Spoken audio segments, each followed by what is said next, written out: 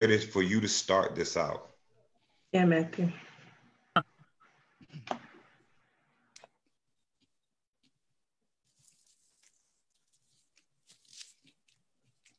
Good afternoon. Uh, I am Matthew Seawood, and I'm your co-host this afternoon. Um, I'm the co-founder of the Just Action Coalition, um, which is a nonprofit youth organization centered around police reform. Um, I recently graduated from De La Salle High School in Minneapolis, Minnesota, and in the fall, I will be attending Morehouse College. Good afternoon, everybody. My name is Ayo Olagbaju, and I'm a recent graduate of Patrick Henry High School. In the fall, I will be attending Howard University to study journalism. And we are so excited to have you here today. Ezra? Good afternoon. My name is Ezra Davis. Um, I too will be co-hosting as well. I am a sophomore at Penn State uh, University studying digital multimedia design. And I also am an executive of ED Legacy um, Studios. Today we will discuss the double pandemics of racism and COVID-19. We will highlight four sections, education, personal life, faith, and social justice. We will hear from our panelists for each of these sections, as well as a few youth contributors. Um, quickly, we would like to uh, take this time to honor Congressman John Lewis. Um, if not us, then who? If not now, then when? These words echo in the hearts and minds of people worldwide and we follow in the footsteps of this civil rights icon.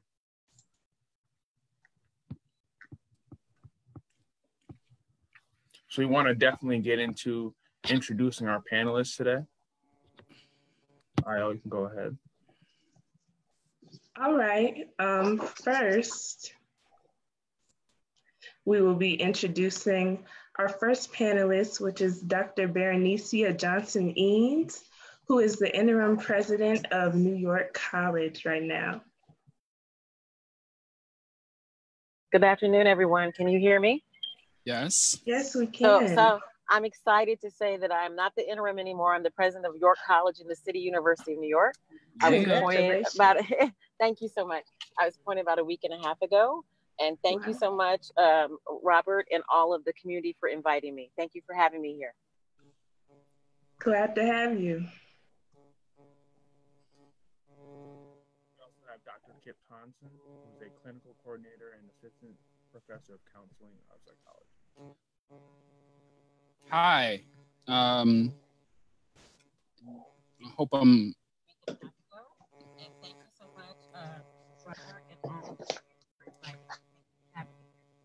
I think there's double play. I, I, I just heard Dr. Eanes again.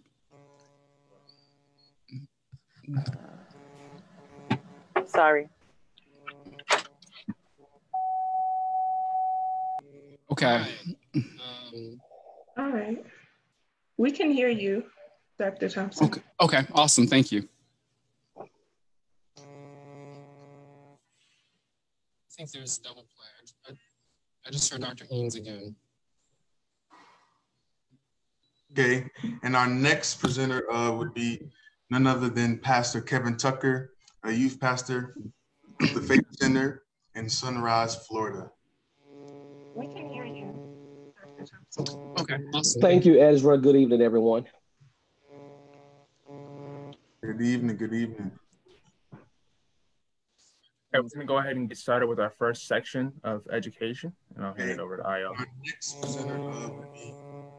All right, so um, first today we will be moving to the education section. So lately in the past few months, we have our worlds have been completely shifted due to the pandemic of coronavirus, COVID 19. Um, students who were in school in the spring were suddenly um, were suddenly told that they would need to be staying home due to all of the restrictions, and that has had a huge huge impact on students across the world, especially here in the states. Um, it has affected people from our elementary ages all the way up to college even. So today we are going to be hearing from Dr. Eanes as well as Ms. Bria Banks and Mr. Miles Mays. And they will just be sharing some of their experiences on how COVID-19 has affected their personal experience. So um, first, I'll start off with Dr. Eanes. From your perspective, how has COVID-19 affected education, just overall? Can you all hear me? Yes, we can. So my apologies, I'm multitasking today, so I have to no be um, in a mode, many modes. So first of all, I want to say that um, nobody could have expected when we went into this academic year that we would be facing a pandemic.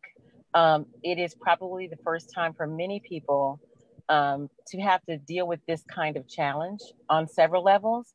Um, because I work in the City University of New York and we serve a large amount of underrepresented students, uh, first generation students, my experience with my students has been um, extremely profound, my students, faculty, and staff.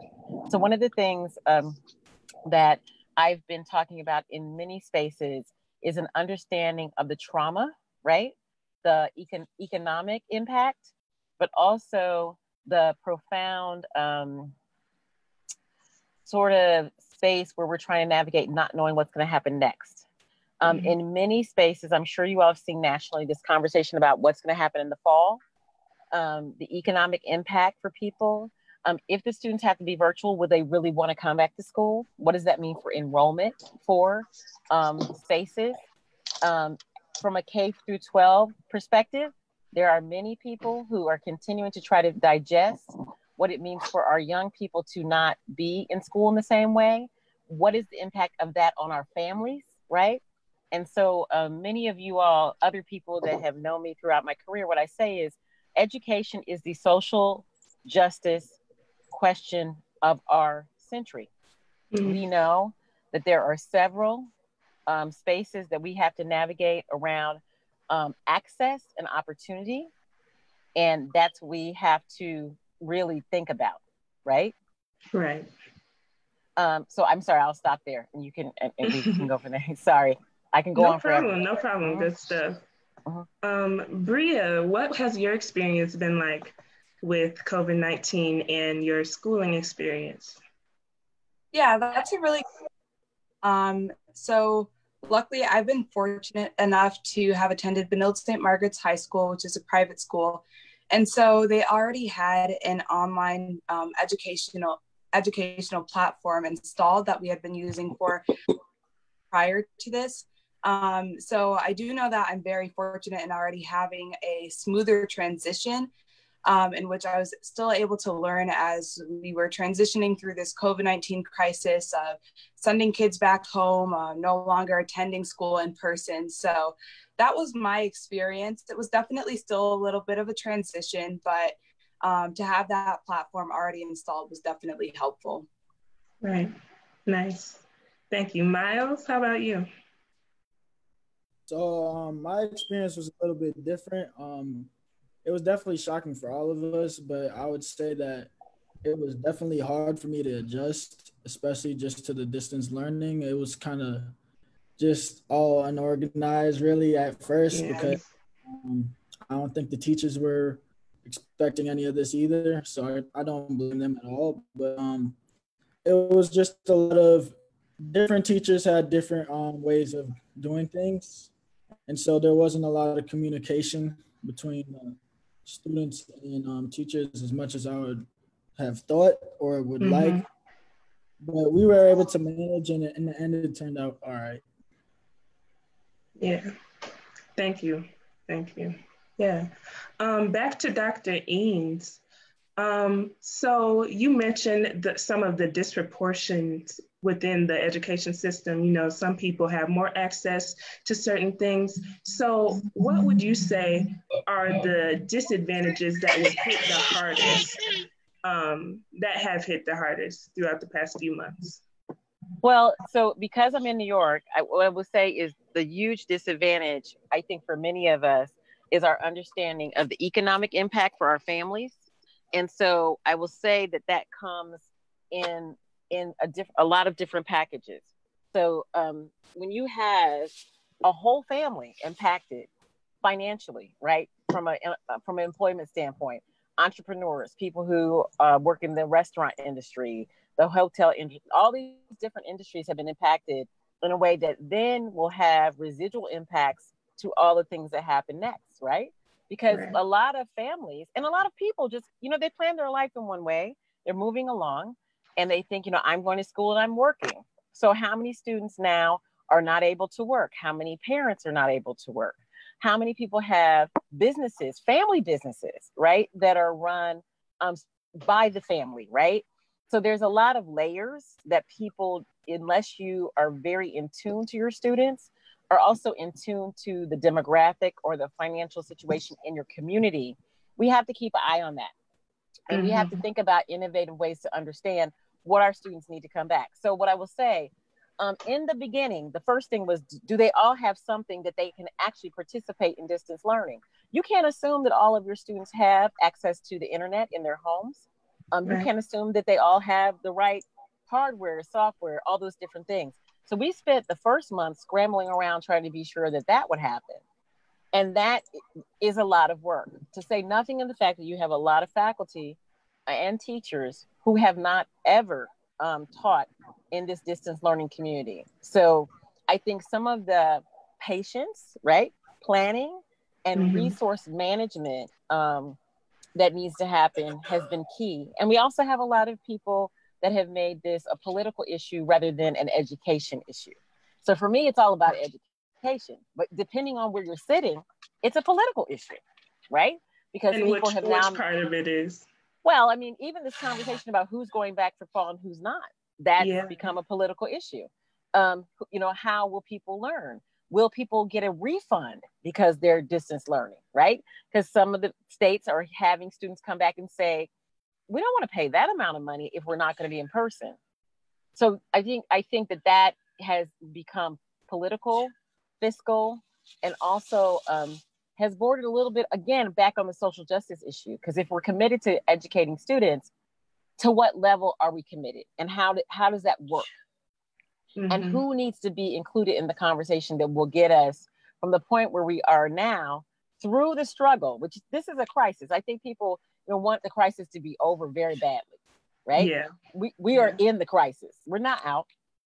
They want it to be over and I get that. Everybody's like, it's summer. Yay, we want to go. Everybody wants to do something fun. I get it. Not so much. This is not fun and it's not pretty. um, and I think we're also pushing against that too. Thank you for the question. Yes, sure. Um, Bria or Miles, so for your, um, I know you are both in the class of 20 as 2020 as well. So how did that kind of affect your last senior experience? Either one of you can go. Um, I'll go.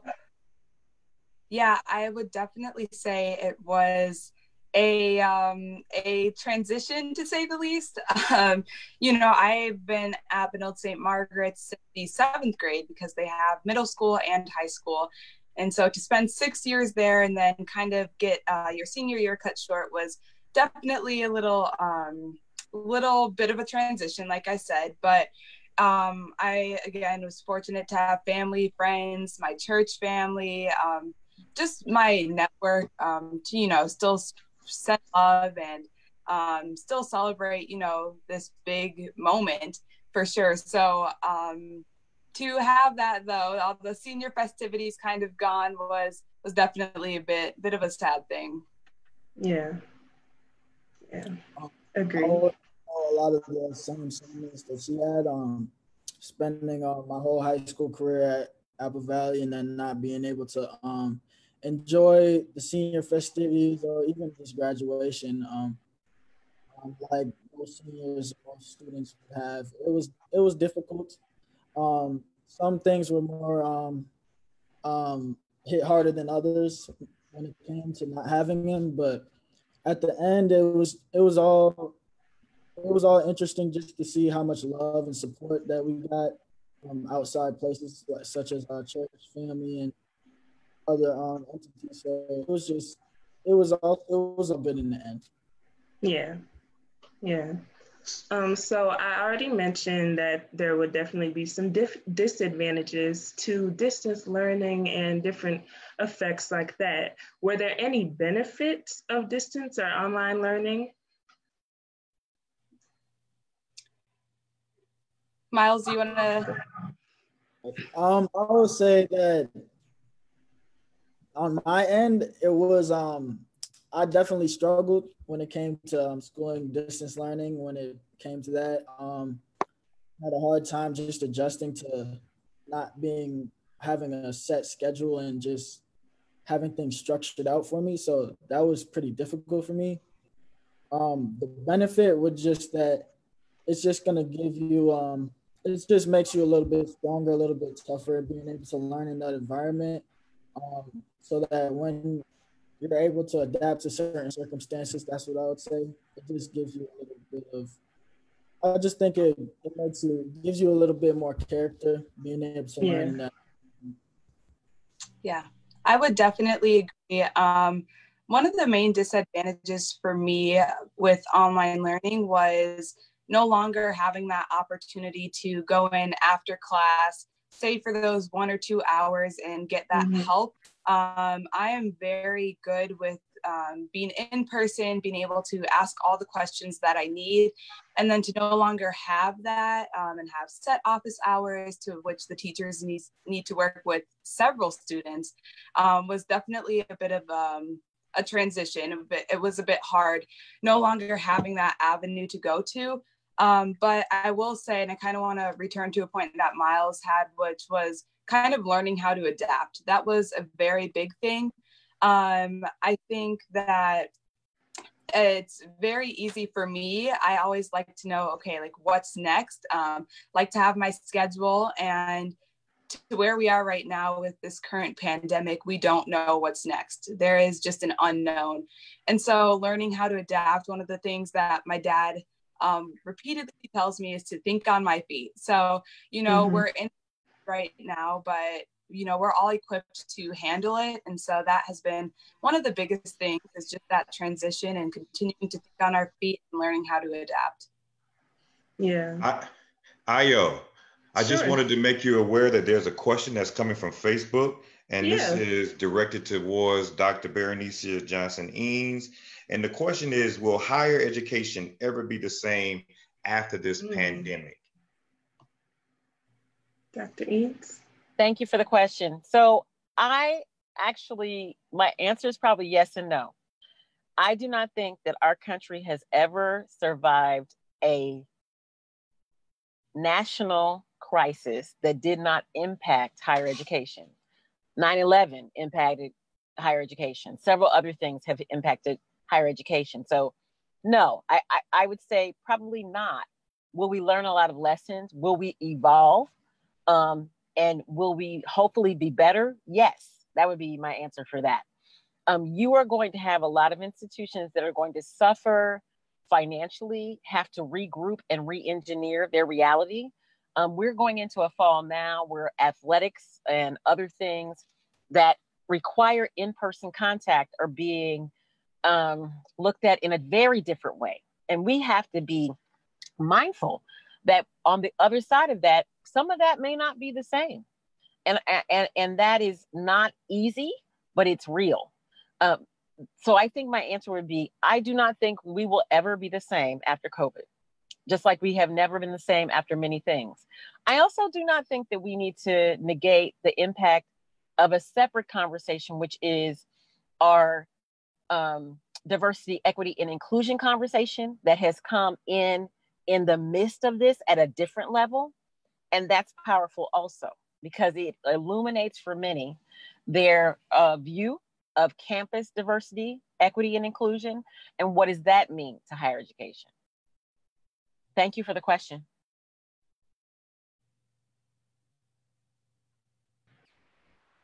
Yes, um, so kind of adding on to that for that new normal in higher education and even in K through 12 as well, what um, what qualities do you think people are learning from this that will be applied in the future?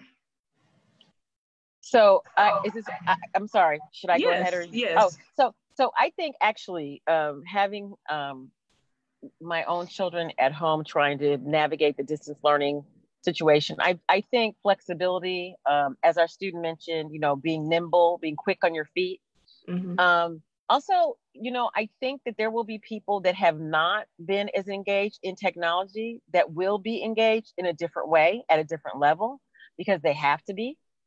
Mm-hmm. I think there will also be a space for people to understand that there's so many other things that they can learn uh, via distance learning that they haven't. You know, shortly after COVID hit, we had Harvard as um, offering free courses. We had, right. you know, there's tons of things out there.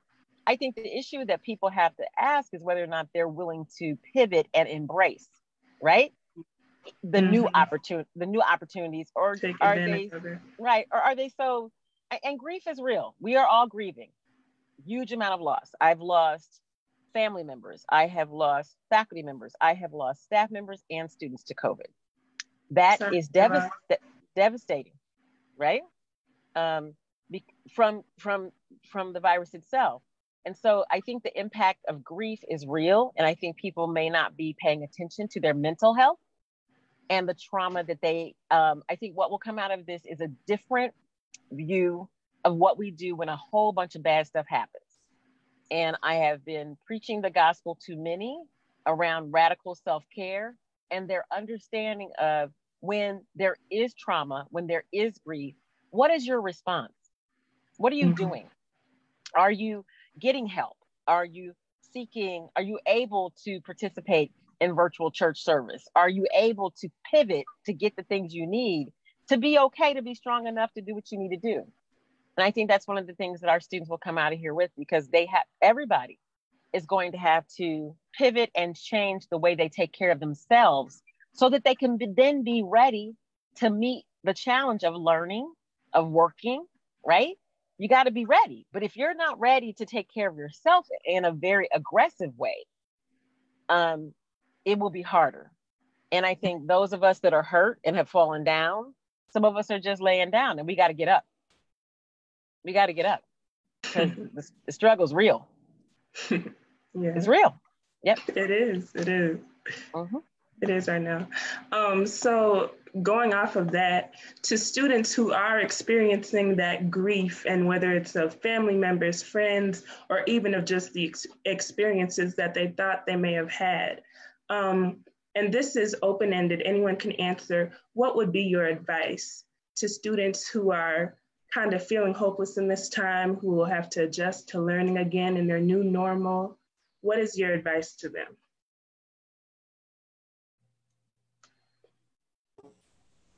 I'd like to jump in with that. Sure. Um, I saw. I would say, and I'm I'm really I'm pleased to hear um, that Dr. Johnson Eanes said all that about self care, and I'm not surprised that she said it either because um, uh, I'd like to think that she probably taught me uh, a large part of what I know when it comes to that topic. But I think that in the midst of all of this um, you know, changes and tribulations and having to pivot and embrace, I think it's really important for those students to find um, what may have stayed stable during that time and cling to it as much as they can. So um, relationships, um, pieces of their identity. Um, you know, there you you all mentioned here um, on the panel today, like your church families, like whatever parts of the person's life that have either remained um, stable or maybe have not been impacted as much. I would encourage them to, you know, um, embrace as much of those components as possible and not be afraid to ask for help when it's needed because you know like uh, president Eanes said we're all grieving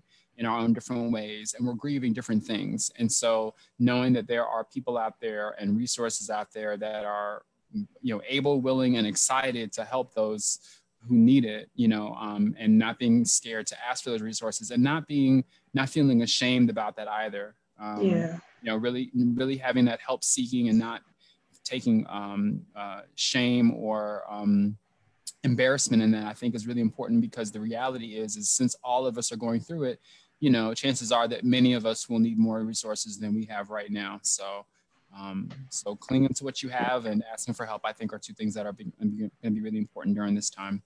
Yeah, great advice. Anyone else? Too. Um, I, I just want to say uh, that, of course, do all those things.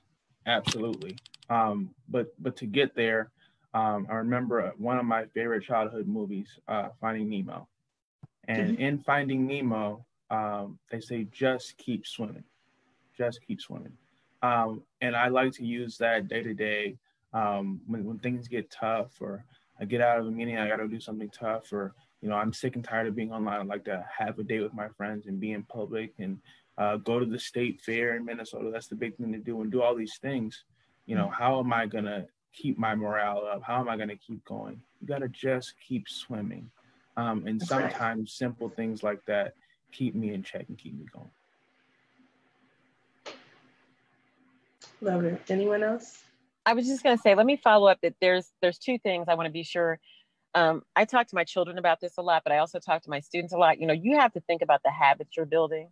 Whatever your habits are, your coping mechanisms is what's going to help you make it through. So mm-hmm. take yeah. a self-reflection, right? A analysis of, you know, I tell people I take a gospel shower every morning. That means that I put the speaker in the bathroom and I pump it up, right?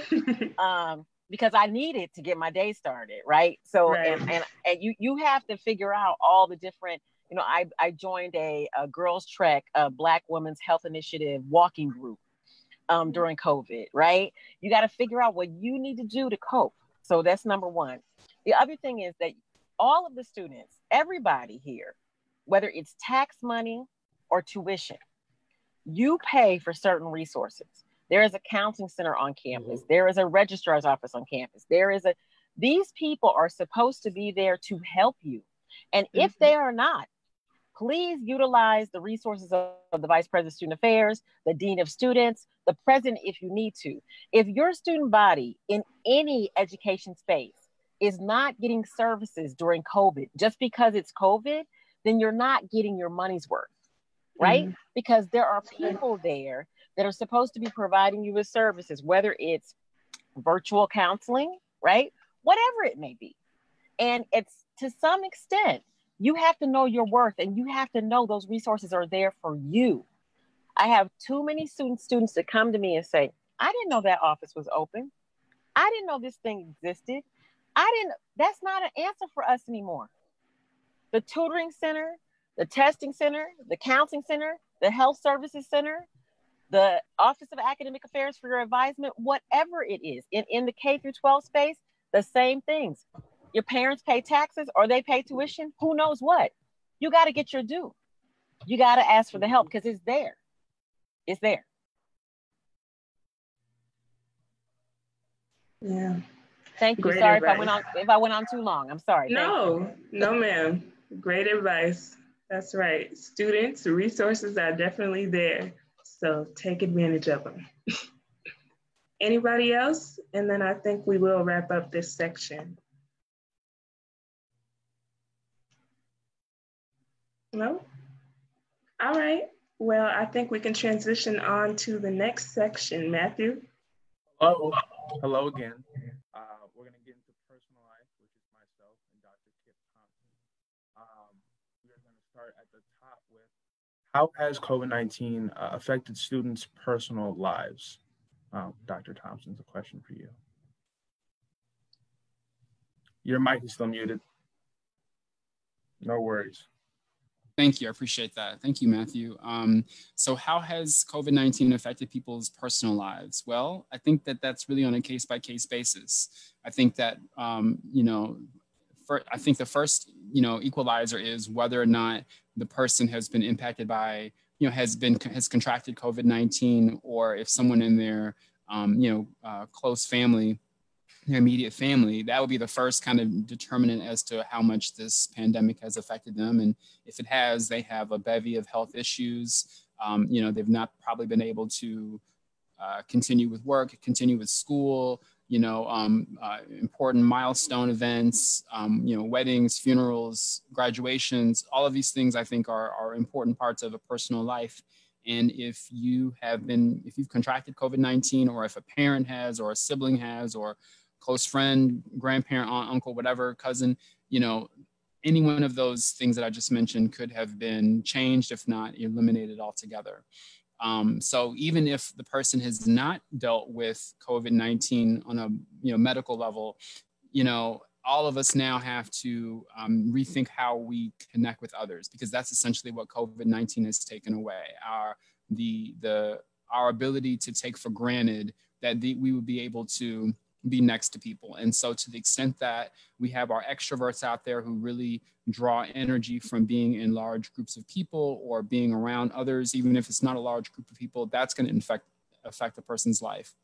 Um, and having to stay in the house for long periods of time and isolate you know oneself particularly if they you know just live by themselves or if they you know don't have many people in the house that you know can affect your mental health right? Depending on the person's temperament their personality um, you know their resources their uh, access to technology. Any one of these things and things that i can't even think about are going to impact a personal you know a person's day-to-day life. And again i'm just hoping that you know they're reaching out for help and that they're asking questions so that you know people outside of that circle can help them cope with those differences I, I love this idea that Dr. Eanes talked about, and I know we're switching gears from the script um, in terms of this gospel shower.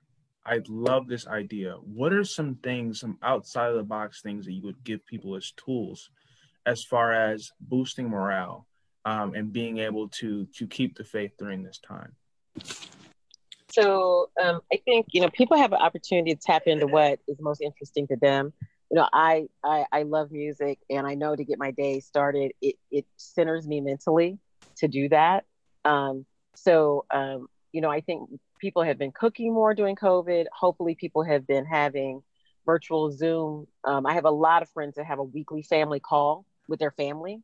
Um, and and some of the young people have orchestrated that. Um, so just a weekly zoom with everybody every everybody every auntie every, everybody just the same time at the time um, I also think people now are trying to figure out how to, um, if they have not already been doing their recreation and their self care physically, how to get out there and do some more of that. I think that you have to tap into those things you know make you feel good. Um, I was raised with somebody who did a gospel shower, but he did it differently. My dad did, you know, gospel um, gardening. He would work in the yard and have the music blaring, and he would clean the house and have the. So I, I, I saw that in him, um, but you have to kind of know what gets you going right? But also get helps you feel um, help um, taken care of. And and and and we're so busy uh, the self-care thing is not easy um, for any of us. But what's interesting and this is you know um, you know uh, I, I robert reese i think has been the beacon of hope in this area in my life for a very long time you have to stay grounded with those things that you know in your heart will keep you okay. So that's your spiritual health, your emotional health, your physical health, your family, your friends, and your faith, right? And how are you managing your calendar? Because this is the thing, life will get away from you. How are you manage your day to day calendar so that it's a priority for you to do something once a day for that those three things, right? Your physical health, your faith walk, you know, all the think about it and be intentional. And I think sometimes in COVID for sure, people are not in, you know, it gets away from you. It's just busy and it's painful. But you do have to make those, I think, decisions that very much um, put you in a place to have a little bit here and there, right? Very intentional, so that you are, you know, taking care of yourself. I love the water. I'm missing swimming because the Y closed. Uh, so that's hard, right? So um, that's hard. Um, some people love to be able to get to the beach or the ocean. That's been hard for a lot of people. Some people mm-hmm. are missing playing basketball because or sports with people, right? I see. Okay, so that's but yeah. you got to figure out a substitute. You got to figure out a substitute, a make do until you get over the hump. Um, because I think, you know, I told my sisters, you know, you have to set your COVID goals and try to, and I try to tell the students and the staff that too. Whatever the three things you want to be sure don't happen. If you want to be sure you don't gain 40 pounds, be sure you don't gain 40 pounds. You know, if right. you want to be sure, if you want to be sure that you read three books and you learned a new language, get it done. You know, it, it will keep you sane to set your goals, right? Mm-hmm. If you mm-hmm. want to find, mm-hmm. you know, my my mm-hmm. son is 13 and I and I tell my husband all the time, like, so when we come out of COVID, is he going to be able to tie a bow tie, tie a real tie, cook some eggs? You know, like what what are we getting done here? Everybody's got to figure out what they're trying to get done because it will keep you sane, right? Because when we come out, you can say, you know what, that's what I did for myself during COVID. You know, I studied for my my my my um SAT. I studied for my LSAT. I studied for my MCAT. I made three, you know, I joined a knitting group. I don't know. But it, this figure figure once we get to, done being sad because I told somebody about 3 weeks ago, I'm done being sad. I lost a lot of people in February, March. Mm-hmm. Once you get fighting mad, that's when we get dangerous. Once we go through our stages of grief, mm-hmm. once you get fighting mad, you can get some stuff done. It's hard because we're gonna slip Ooh. back and forth. It's gonna slip back and forth. Sometimes it's just sad. Like I don't want to. Who wants to do this? Who wants to go to school online? My kids don't want to go to school online. Nobody wants to go. But okay, but it is where we are, and we're gonna have to figure out how to mobilize ourselves past that. Um, we also have this interesting dynamic around losing our civil rights icons and being in this Black Lives Matter space and being in this space around diversity, equity, inclusion. And if we, I think, do not get serious about our understanding of our position and our commitment, um, it we will it will be a tragedy, and we don't need to do that. We don't need to do that. There's a lot of opportunity, a lot of opportunity. Um, I, I want to make sure that anybody that's watching on Facebook or, or, whatever medium you're watching through we are not um, ignoring the social justice component of that. We have a piece coming up a little bit later, um, but that's definitely the main part of what we're talking about today. So you're going to hear people talk about that a lot, but we're really going to get into that for 30 to 35 minutes later in in the broadcast. Um, Doctor, you back to you, Doctor Thompson. Um, she briefly touched, Miss Dr. Eanes briefly touched on um, some of the effective ways that you can use this time. We're, we're seeing this period of time as far as being in quarantine and then social distancing and things not being back to normal yet. Um, if it will ever be normal, if it will be a new normal or whatever the case may be. Um, and she gave some brief examples. I would ask you to, to do the same and give us some examples, um, some ways that you've seen youth be effective during this time, some ways that you've been effective during this time, um, and some things that people can do to um, restructure themselves um, and take a moment to, to, to find some normality um, in this pandemic? Oh wow, um, that's a loaded question. that's a lot. That, um, I, I, I think that you know I agree with everything that Dr. Eanes just said, and um, off the top of my head, I, I struggle to add to that list because I think it was it was golden. I think that in terms of like restructuring themselves,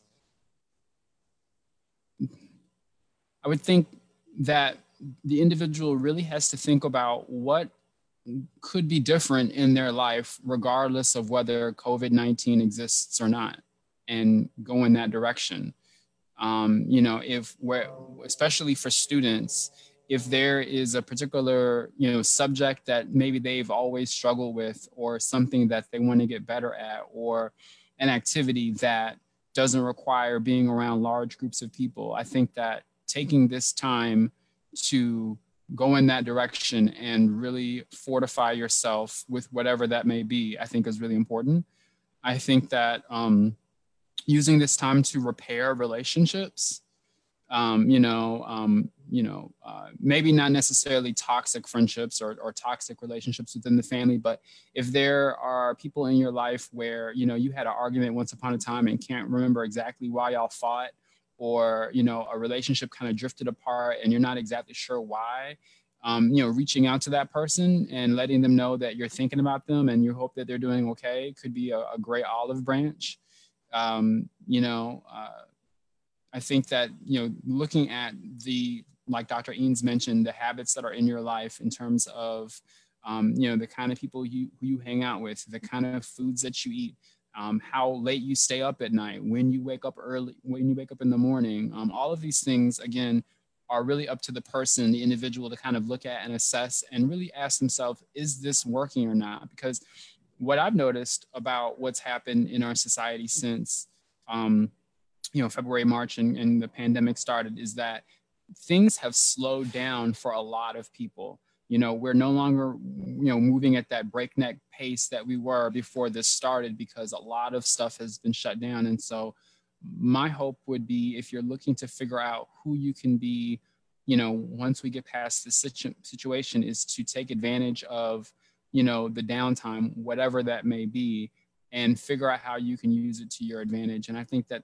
you know specifics are really up to the individual to figure out like what makes the most sense for them. But i'm hoping you know if it's not relationships if it's not daily habits if it's not you know what they're doing in terms of like activities school work that there might be something else that hopefully this panel will spark and you'll think well you know that's something i could do better i could do different i could spend more time on i could reach out for and maybe that's what i should be doing. And so i think that checking in with loved ones and checking with people who know you well and asking them if you have no idea like what that thing might be for yourself asking people who know you really well what do you think i could do to take myself to the next level? You know generally speaking or in a particular um, uh, on a particular topic and, and listen to that feedback and try to receive it and try to integrate it as best you can. I think um, you know will be a great start um, i think that this moment has given us a second to to pause um, I know that I'm a person from my upbringing, upbringing that even in this global pandemic that is terrible, you have to be able to find the positives and find areas where you can succeed, right? Mm-hmm. Um, mm-hmm. And I know for me, as far as wanting to be a young, successful Black man, um, something that I've been working on is thinking systematically, right? So you have an issue, you have a problem, how do you put together a system in your mind so you can knock things out um, and, and make that problem solvable? Because um, if you're skipping from thing to thing, you're skipping all over the board and you're not really organized, it's going to be really hard for you to get things done in whatever field you're working in. Um, so that's personally something that I've been working on very, very longly every day, um, trying to think how can I be the most effective in each time frame that I'm laying out for myself. Also, um, when things happen like this in the world, there are often times of creation, right? So we've had a couple months here where people could could have been locked in on this project, um, locked in thinking about this, thinking about that, and that there will be companies, whatever, that will come out of this and be like, you know, this is the time we needed to really zone in on what we were working on and think about things in an effective way. Also, like like Dr. Ames uh, harped on a little bit, things probably will have to change. People have to be more effective, and the medium that, we communicate, how we do things, will not be the same probably ever again. But um, that does not mean oh we're you know of course we we want we were okay before okay um, but we have to think about what does the future look like um, who are the people that are looking forward and saying how can i create or invent something that will help improve in the future um, how can i be that guide um, where will my product run in this market? Um, those type of thoughts as far as being aggressive being a creator are really powerful in a time like this. So i want to make sure anybody that's watching that call is definitely thinking about those things and that um, this is a time where you can lock in. Um, i know personally it's been about um, redoing my schedule. What time am i getting up? What time am i going to sleep? Um, you know trying to socialize with friends but um, there's also goals that i'm trying to make um, and, and I'm in that transitioning period, especially being a youth, uh, of going from a young man to a man, um, and going from a high school student to a college student who's going to have to be independent and be able to handle things on his own. Um, so, how do you navigate that? Um, are you mindful in that transition? All these things that I could say that I'm definitely been thinking about during this time, um, and have definitely tried to harp on. Um, let me get back to our questions here. How has uh, COVID 19 affected you? I know we talked a lot about the youth, but um, how, how has it affected you, Dr. Thompson, uh, specifically? Uh, you know what? I got to be honest with you. Um, I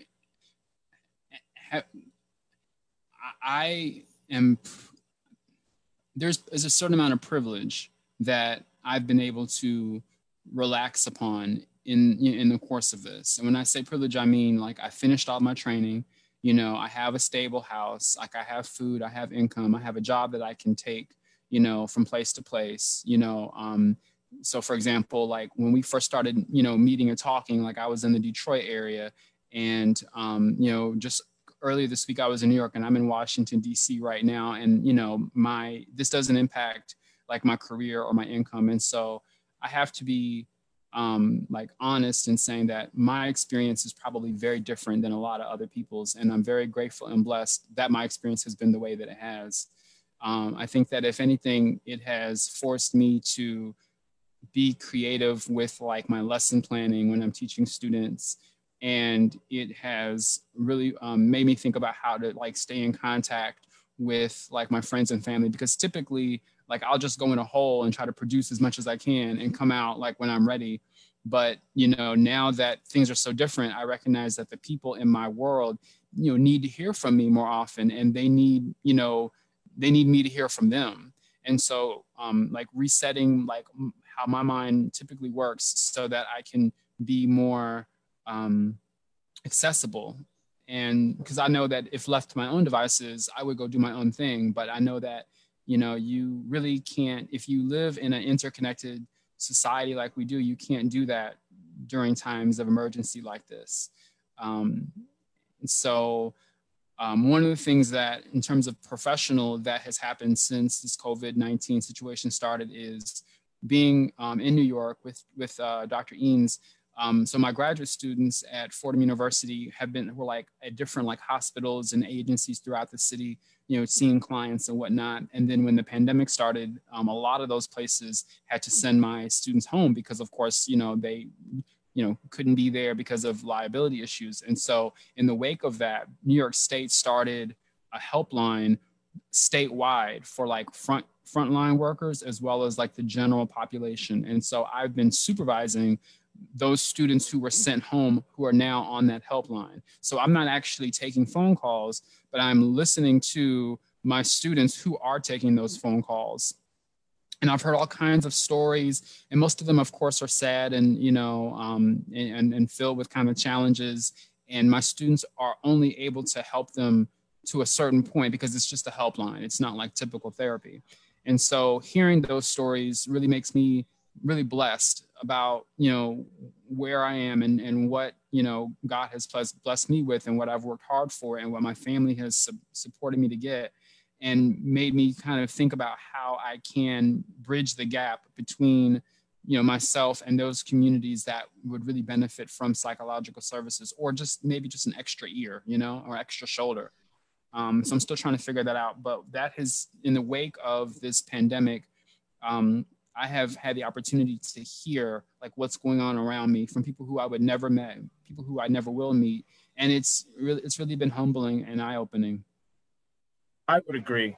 Um, I know that my mother in raising me has always been big on um, understanding the blessings that are in your life, right? Mm-hmm. So so understanding um, how how you can be thankful, what you're thankful for, and not letting that be a Thanksgiving or uh, once a month to Sundays or or whatever type of deal, letting that be an everyday deal. Um, mm-hmm. And I think that this pandemic has done that for a lot of people as far as having to understand, like you said, your privilege. Um, mm-hmm. You wake up in a household where you don't have to worry about any type of domestic violence. Mm-hmm. You know, there mm-hmm. are people that are experiencing that and that are stuck in their houses um, during this pandemic. Um, so there's just all different layers of things that are happening to people and that they have to deal with on a day-to-day basis. Um, that is tough.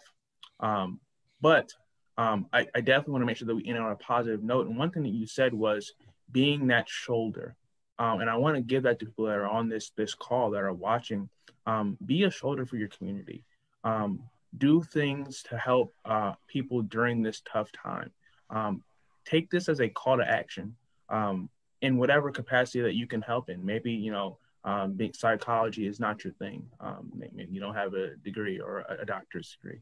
Okay, w- what are you educated in? Uh, what can you help in? Uh, what can you do in a safe way to to contribute to your community so that people are feeling better? What can you do to bo- boost the morality of your neighbor?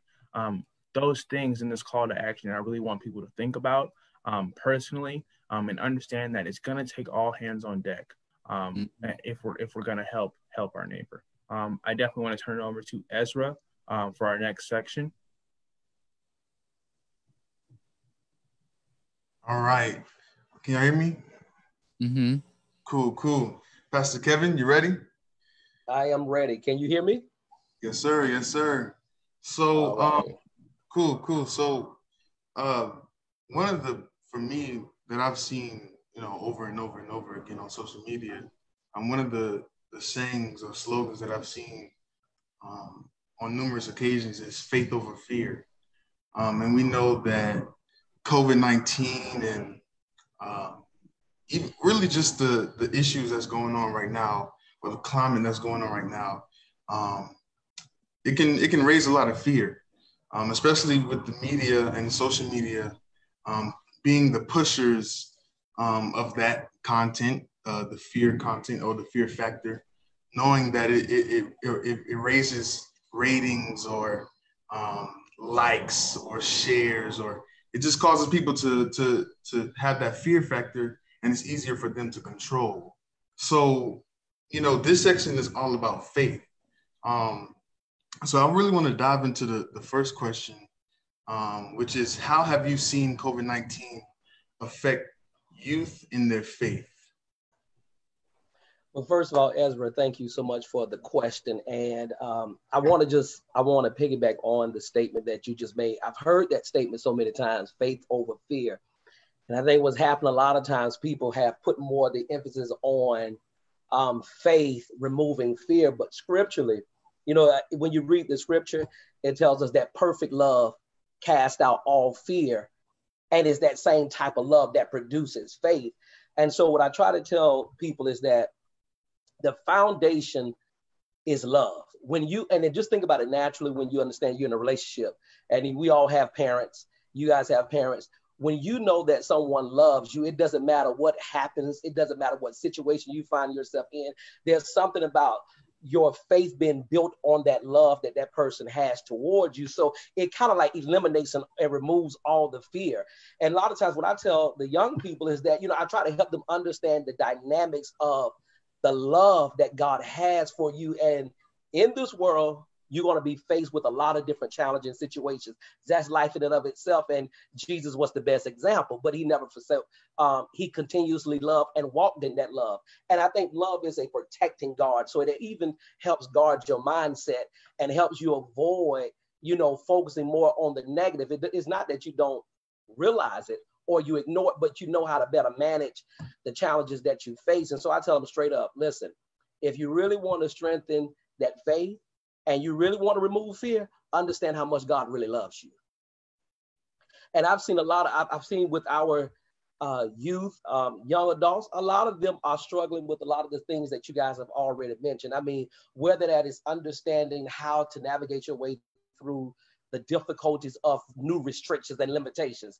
You know, as young people, um, you know, I think in general, I know myself, I do not like being stuck in the house. And so COVID 19 and the pandemic has, what it did was it, it shifted everybody forcefully without any warning. We had no idea that it was coming. So all of a sudden, we were in our normal routines, and now all of a sudden, hey, you got to stay in the house. You can't go anywhere. In fact, right here in Fort Lauderdale, we just went back on another curfew and we can't go outside the house after 11 o'clock. So it's, it's, wow. it's you know, I've, I've seen a lot of different challenges um, with our students, uh, just the day-to-day challenges of transitioning from a traditional learning environment to the online and just being mentally um, and psychologically being able to adjust to all these quick changes. So there's a lot that they're facing. And then you deal with the, I think the relationship aspect. Um, many people are still, you know, they still build relationships through, you know, just that physical touch and that physical environment. And now all of a sudden, you know, I know this generation does a lot of texting and snaps and all the technology ways, but there's still that core group of your inner circle that you like to see face to face. And that can be very challenging when you, especially if you're a people person and you like to be around your friends, and all of a sudden it's three and a half months later, and you can't talk to your best friend. You can't walk, walk down the street. You cannot drive to the next house and just maybe go to Wild Wings and just have some good food and good conversation. Those are things are not happening right now. And so young people are dealing with a lot of things as well as adults. But I think, you know, in and of itself, as young people are growing and transitioning from that um, young adulthood into adulthood, from you know, high school into college and to the career force. Some of them are dealing with a lot of um, scary moments. You know, will they get a job? You know, you know, some of them are wondering what would school be like for me, and this is their freshman year of college. How will it be living on campus? And it's not the it. They don't have the same expectations that um, I had. You know, I knew what college was going to be like. We didn't have to deal with this. You know, it's very interesting because the same generation that's dealing with the pandemic is the same generation that dealt with 9/11. And so there's some there's some irony here when you look at um, what this generation is facing. Uh, yeah, I totally totally agree. Um, uh, so so TJ, my brother, um, how would you uh, answer this question? How how has how how have you seen uh, COVID nineteen affect youth uh, in their faith?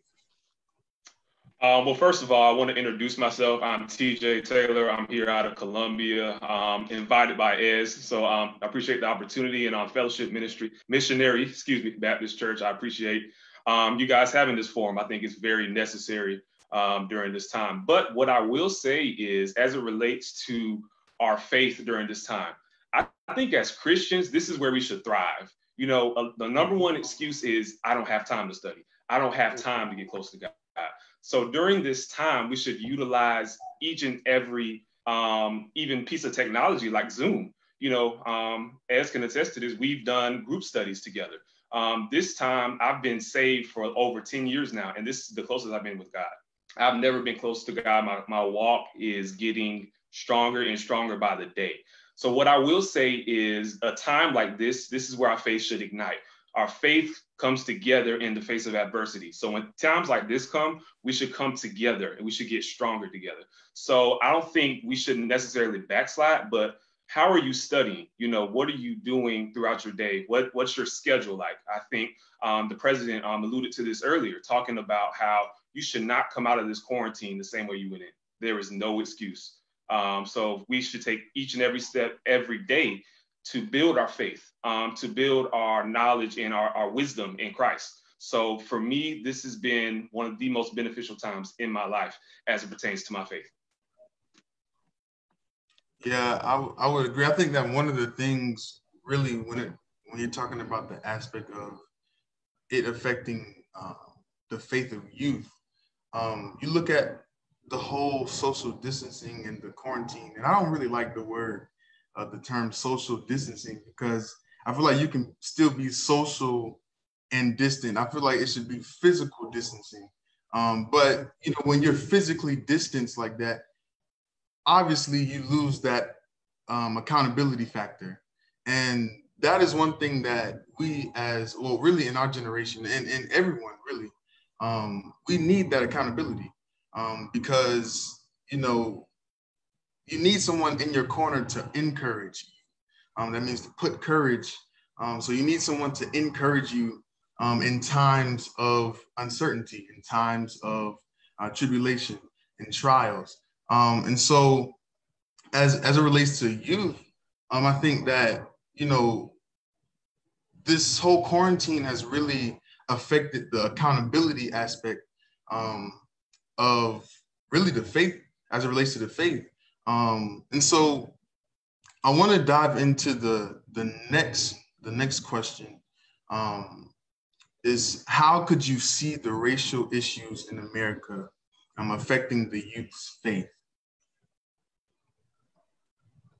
Uh, you know, it's very interesting where we are today. Uh, I am 37 and I can remember distinctly. I mean, the truth is, Ezra, I have had I can uh, I can probably tell you that I can recall at least about five to six different encounters with racial um, that affected me personally, racially. Um, one being my first year of college, to the point where I ended ended up in a situation um, with living in a dorm room with a individual who was racist, and it got to it really got to the point where there was racial tension on the entire campus. And the situation almost made headline news. And that was the first time i had ever been in that situation personally. I mean that was the first time in my life that i ever had to fear for my life and was wondering what would the, you know i'm I, literally no joke i had a bat beside my bed my bed at night. I could not even sleep in peace at night because of the I, I know how a racist mindset. I know what they think like, and so, you know, it's very disturbing to see the times that we're in now and the issues that we're facing. But as a believer, you know, as I've grown and as I've matured in the faith, one thing that I've that I've learned is um, I go back to this love, guys, because I, I, stress this because we talk about a lot of things and don't understand sometimes how love is the root of, it's the foundation of why Jesus even even came. It's the reason why God even sacrificed His Son. And I think about one of the scriptures in the Bible um, that tells us, if at all possible, live peaceable with all men. And so I think as we were as we mature, you know, as a Christian, I'm I'm intentional about dealing with situations from a place of truth and integrity, but not doing, not managing or dealing with the situation in a way that it escalates or uh, makes matters worse. I'm trying to figure out, you know, how do I bring peace to this situation? And one of the ways when you cannot reach people through a casual conversation, then you have to pray. You know, you you you have to, we have to begin to pray for our environment. And then we have to foster these safe and honest conversations where we can respect one another, even if we disagree. I've been a part of conversations recently where I totally disagreed with someone and did not like what they said. But we have to understand in life, everyone has a right to their opinion.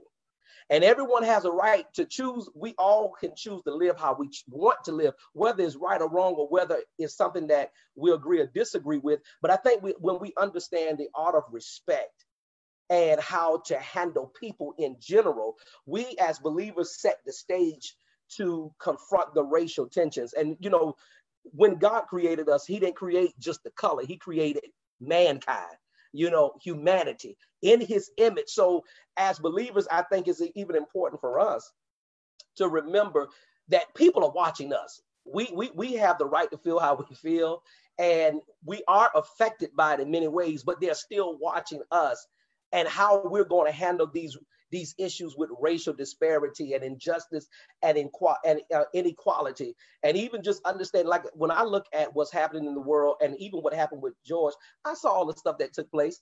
And guess what? The people have a right to be mad and be angry and upset.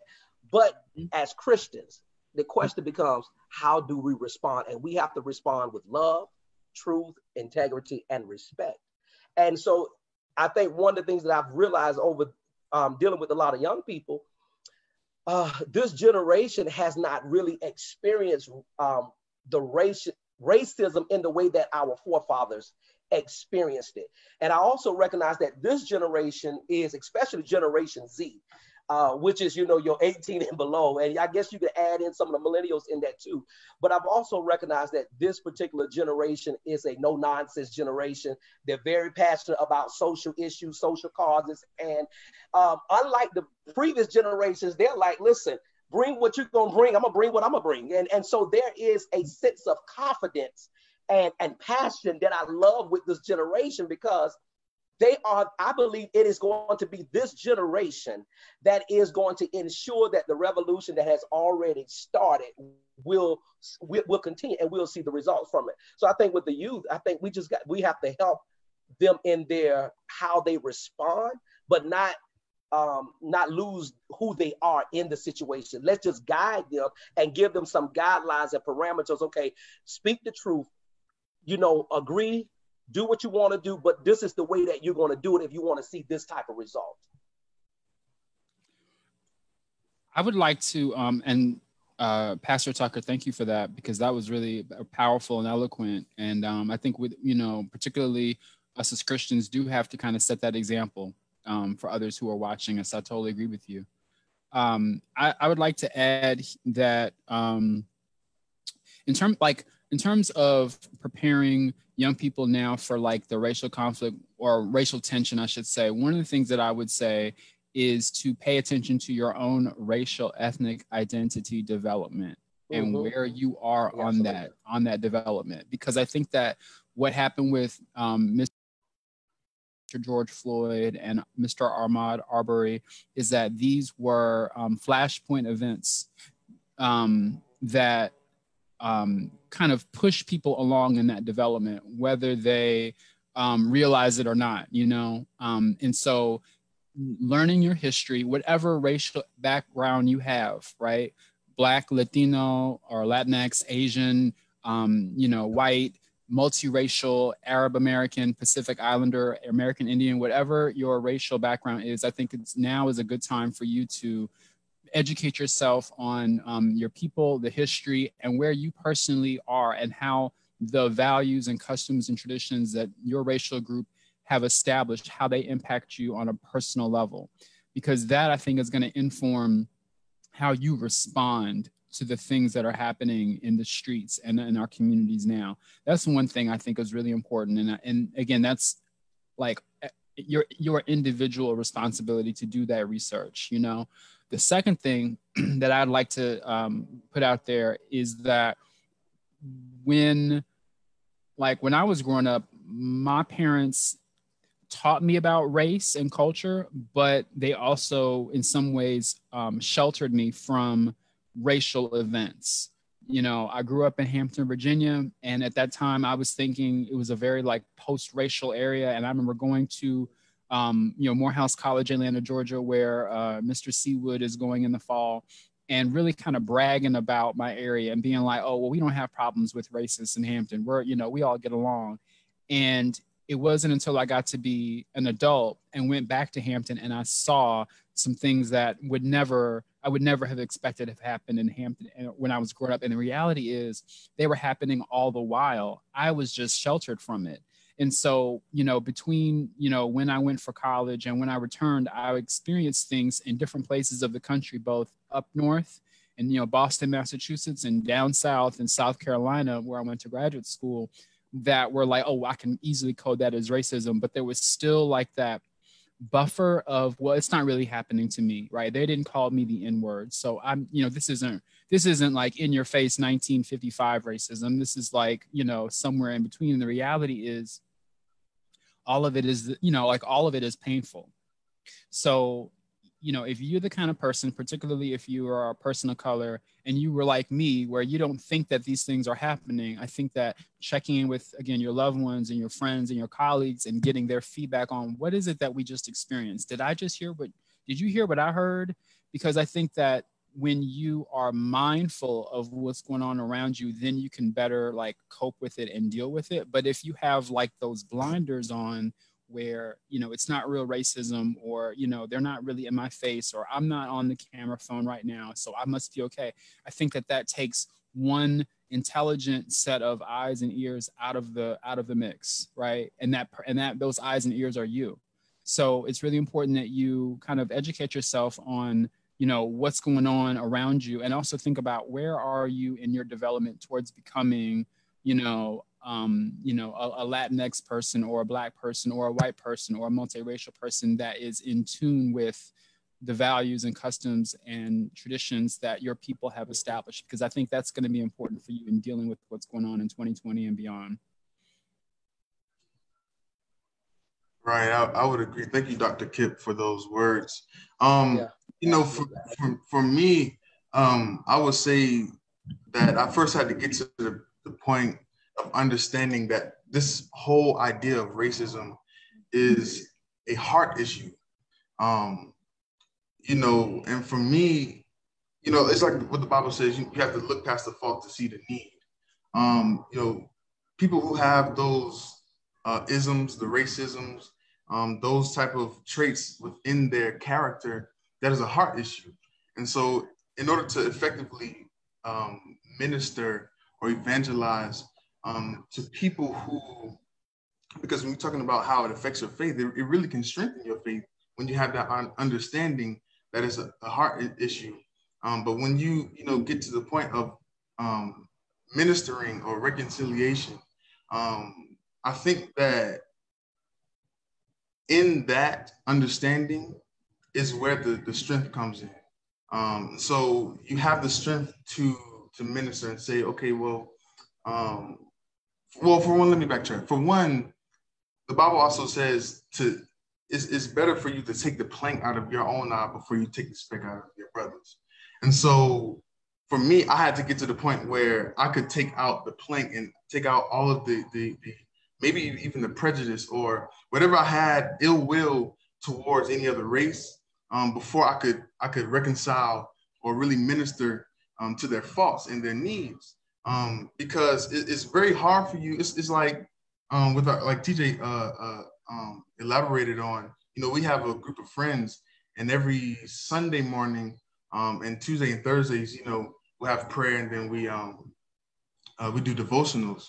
Um, but for me, um, it was one particular devotion um, and prayer where I prayed for our president, and it was I had to get to a point where I could repent um, for the ill will that I had for him in order for me to, to pray for him. Um, because it's hard for you to kind of, um, uh, uh, for one, we have to pray for him because he is the leader of this nation. And so you don't want any anything that's corrupt, um, especially if it's leading you. Uh, you don't want uh, anything corrupt leading you um, because anything that they say and do can conjure up any war, any um, discord or wickedness. So I, I, I, felt the need to really pray for him um, because uh, this is our leader. Um, whether we like it or not, we may not like it. Um, but at the end of the day, this is our leader. Um, and so I had to get to the point where I could take the plank out of my own eye and look past the fault and see the need and, and, and really pray for him and, and pray for those who may have any type of prejudice or racism or any other ism uh, uh, towards um, you uh, because it, it, really is a heart issue.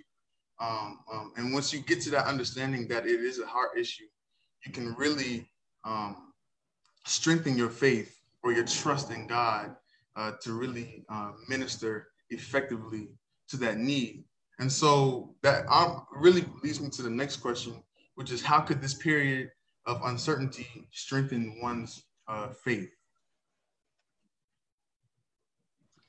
Uh, you know, as I, I think, you know, I think the president said something earlier about opportunities.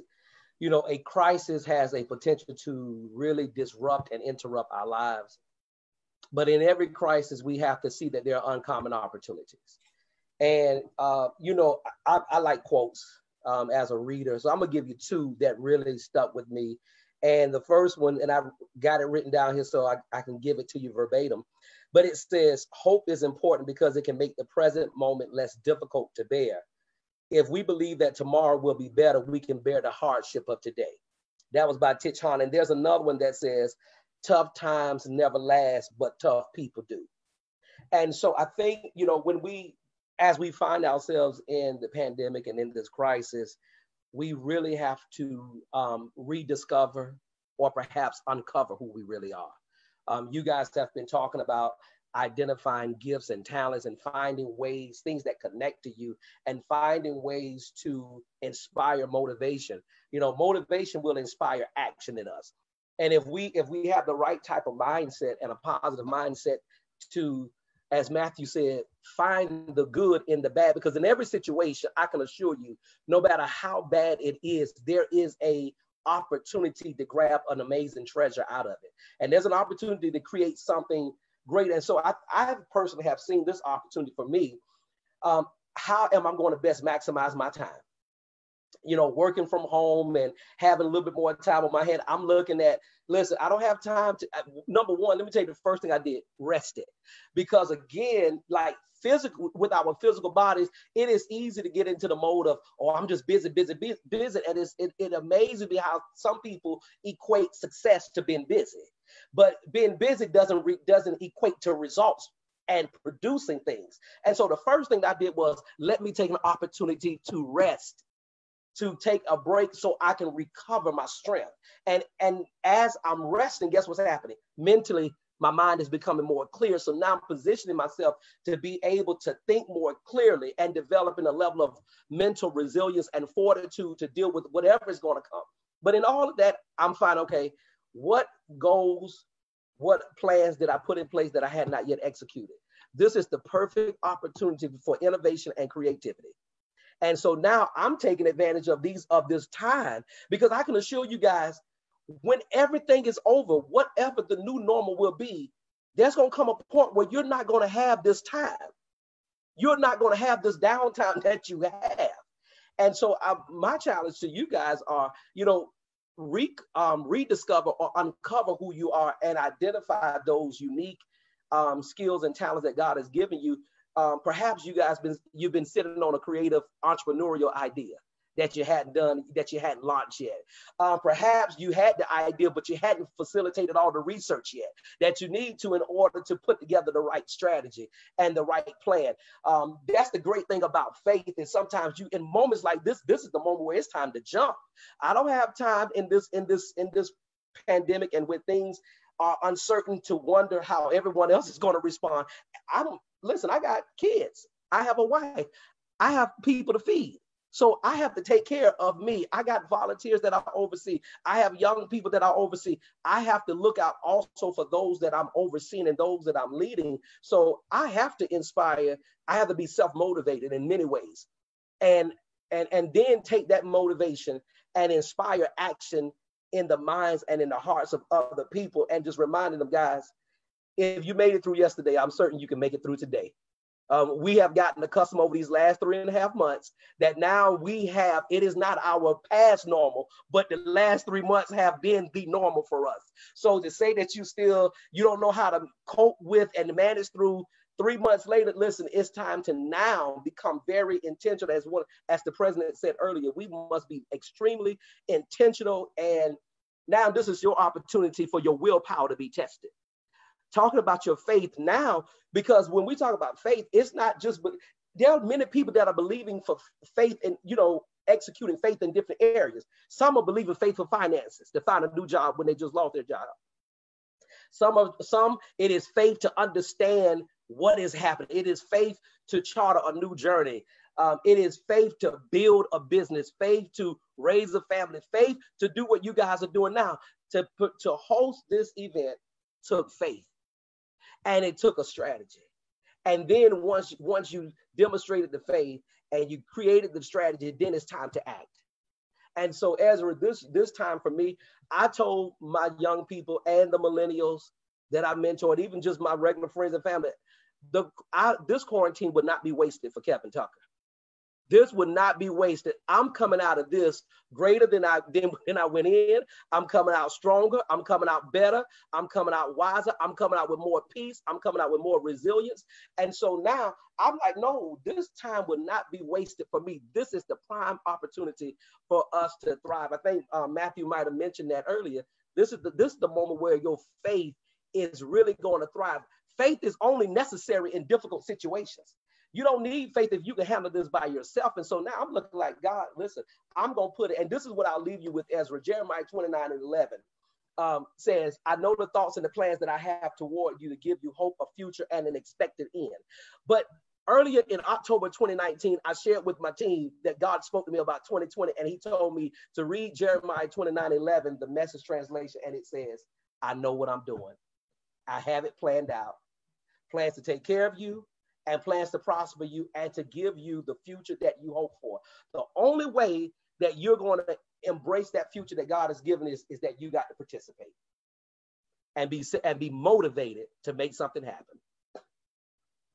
Absolutely, absolutely.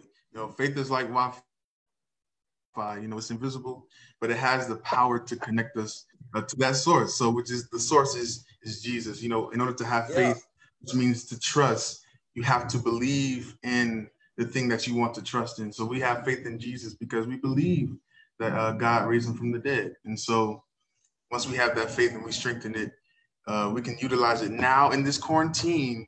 But when um, when we get out, you know, we'll have that faith to endure even the trials after this. So I want to pass it over to Matthew. Oh, go ahead. Well, go ahead. Ezra, can I add, can I add one thing right there before you pass it to Matthew? I think Dr. Kip um, mentioned this earlier, but I want to really stress this, guys. This is an opportunity for you to develop new practices, new behavior practice, new thinking patterns. Um, change. This is this is an op. You you have to the way you have to look at this this moment that we're in is this is a fresh start.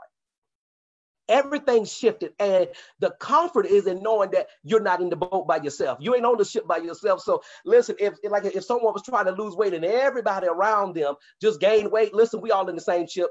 Listen, I'm gonna eat less. You're gonna eat less. I'm gonna work out. You're gonna work out. This, you don't have to feel embarrassed or you don't have to feel like you stuck. Trust me, this is a fresh start. All of us are at the same, we at the same stage during the pandemic, and all of us at the start. We're right now at the start, and it's up to you to decide if you're gonna get to the finish line. And while you're running, if you I ran track, so if you're doing a four by four, remember you got friends that are connected to you. You got other peers that are connected to you. You got family members that are connected to you. So you have to be able to start the race, but be able to bring somebody along with you and pass that baton. And now all of us are going to cross that finish line at some point. We may not cross it together, but the goal is when I cross, you're going to cross. If you don't cross at the same time, I'm going to wait on you to watch you cross over. So just to take advantage of this opportunity new mind, new thinking patterns, new behavior practices. Just take the, just embrace and get excited that you got a fresh new opportunity to do something in a way that you've never done it before. Agreed, agreed, agreed, agreed. So we're gonna pass it off to Matthew for the, the next uh, section.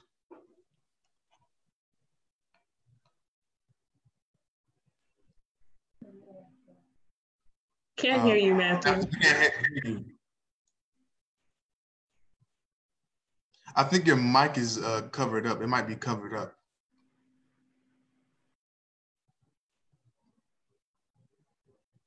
No.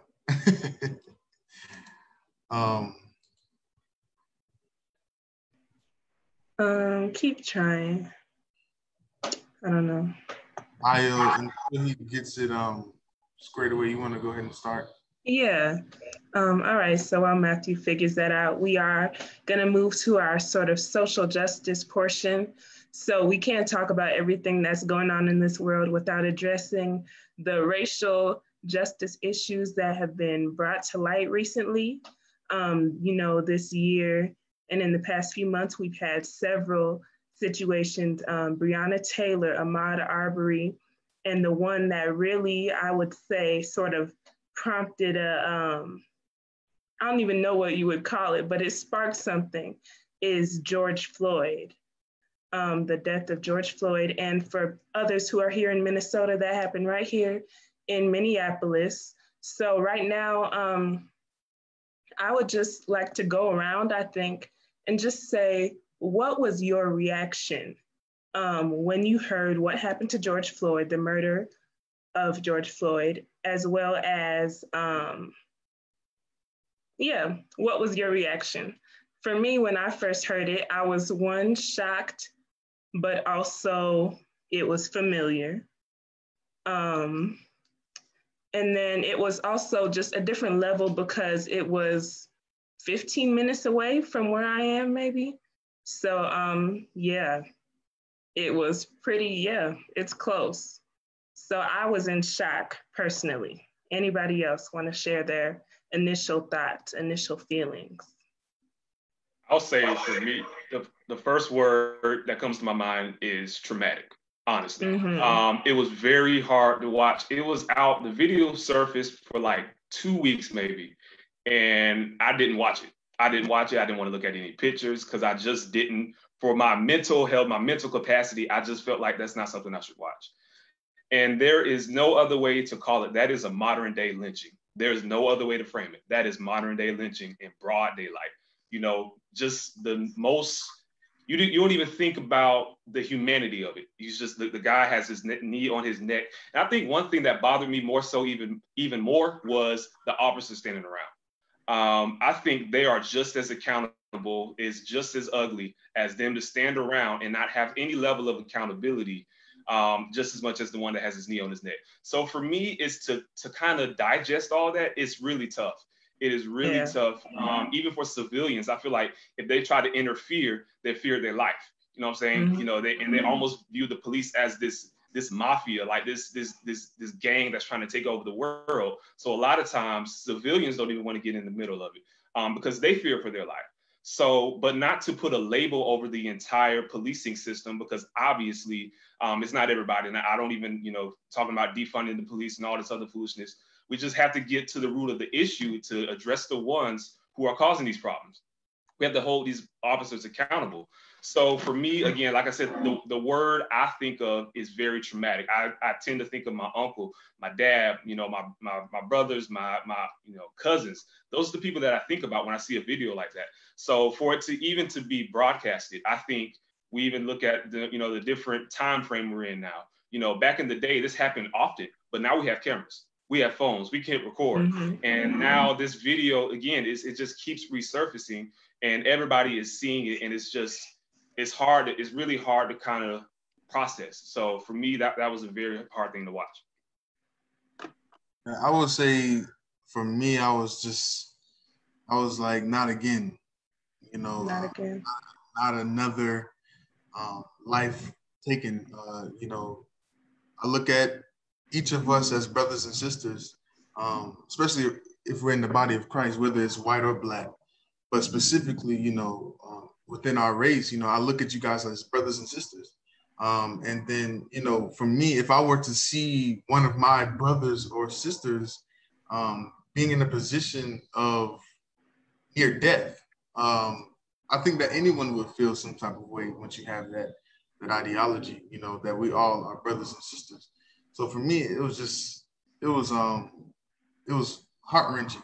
Um, at first, like TJ said, I couldn't watch it. I didn't want to. Um, you know, like the Bible says, guard your heart, um, for out of it flows the issues of life. So I didn't want to watch that because I wanted to guard my heart because I know me, um, and I wasn't in the place uh, uh, strength wise to handle that because I I didn't want to go off on a tangent. Um, but you know, I, I, I did uh, later on watch it, um, just little clips, and uh, you know, I just can't fathom uh, anyone kneeling on anyone. It doesn't matter if it's black or white, um, uh, Asian or Hispanic, kneeling on someone's neck for eight minutes and 46 seconds. That is like, that is the lowest of the low. You know, there's there's no way you you, you know that race wouldn't even do that to their dogs, and for you to do that to an innocent right. life, you know, uh, for eight minutes and and feel no remorse, uh, uh, you know, feel as though that you're a tough guy, um, you know, it's very uh very um disheartening.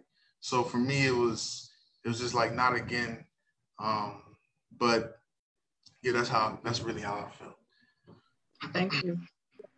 Um, I would say um, that I was tired.